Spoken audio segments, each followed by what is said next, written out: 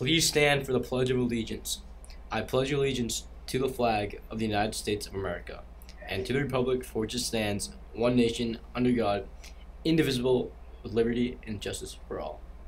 Please stand for a moment of silence.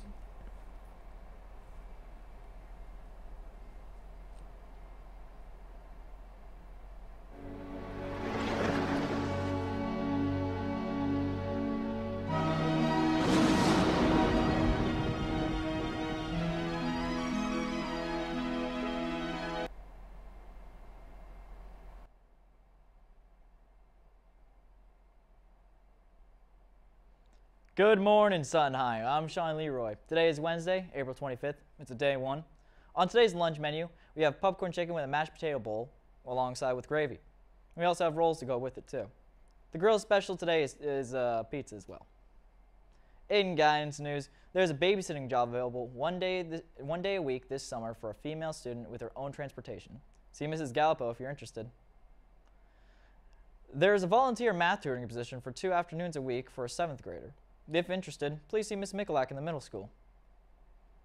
Congratulations to Andy Moy on his acceptances to Westfield State, Keene State, and Worcester State Universities, and to Haley Furman on her acceptance to Elon Uni- University. Good job, guys.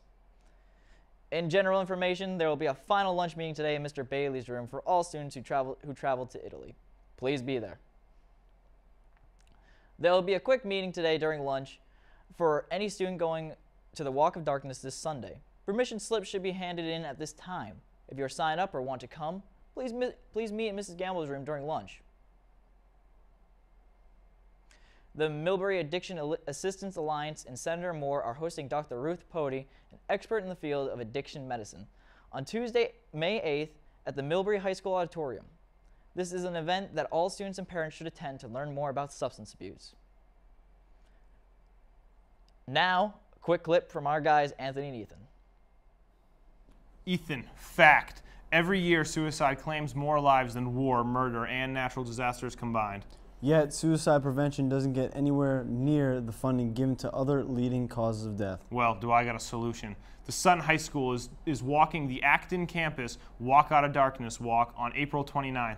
We need your help to change the conversation about mental health and put a stop to this tragic loss of life. Please join us in walking on April 29th or donate. Links, links to do both are on the Sutton High School website. Hope to see you there.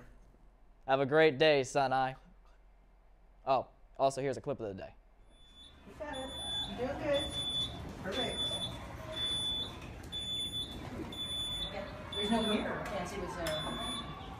So you need to go that way, yeah. Yep. Can I back out? That's as far.